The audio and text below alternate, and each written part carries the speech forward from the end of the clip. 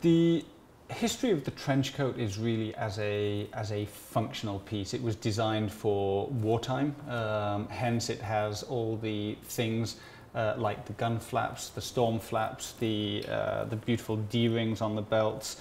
Um, everything was designed for a reason with the trench coat, which is why I think it's so beautiful and which is why I think it's become a design classic. I wear different trench coats and I prefer to wear it open rather than closed and I kind of fasten my belt at the back. I prefer to kind of make it feel easy, you know, it's um, a bit more relaxed. Um, you know, I, I kind of, in general, don't like things too buttoned up.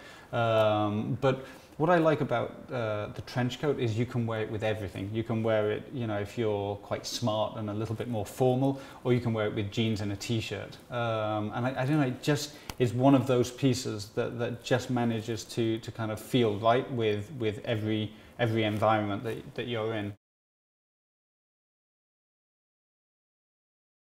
I think everybody finds their own way of wearing their trench coat. You know, I, I kind of, in general, prefer um, it to be kind of the belt to be kind of tied rather than kind of buckled.